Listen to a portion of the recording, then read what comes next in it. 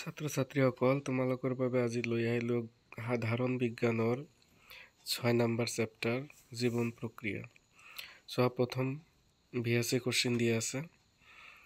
প্ৰথম কুৱেশ্যনটো দিয়া আছে, জটিল অনুক সৰল পৰ্যায়লৈ পৰিৱৰ্তন কৰা বিক্ৰিয়াৰ নাম কি? জাৰণ আৰু বিজাৰণ বিক্ৰিয়া দিয়া আছে।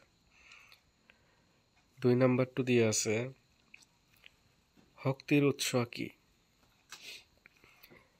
সাধাৰণতে আমি যিবোৰ বস্তুৰ পৰা শক্তি পাওঁ যিবোৰ খাদ্য খালে আমি শক্তি পাওঁ সেইবোৰেই হ'ল শক্তিৰ উৎস।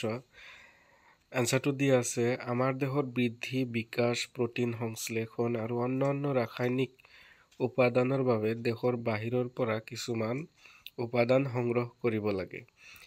এই উপাদানসমূহেই হ'ল শক্তিৰ উৎস।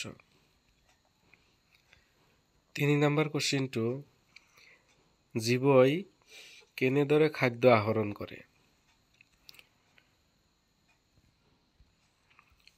চোৱা সকলো জীৱৰে শক্তি আৰু বিভিন্ন উপাদানসমূহৰ প্ৰয়োজনীয়তা একেই কিন্তু ইয়াৰ আহৰণ প্ৰক্ৰিয়া বেলেগ বেলেগ।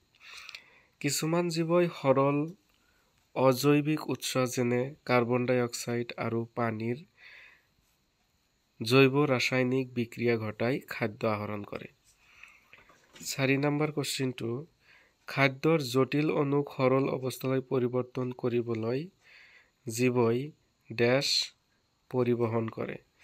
কি পৰিবহণ কৰে কোৱাচোন? জৈৱ অনুঘটক পাঁচ নম্বৰ কুৱেশ্যনটো দিয়া আছে, উৎসেচক কি?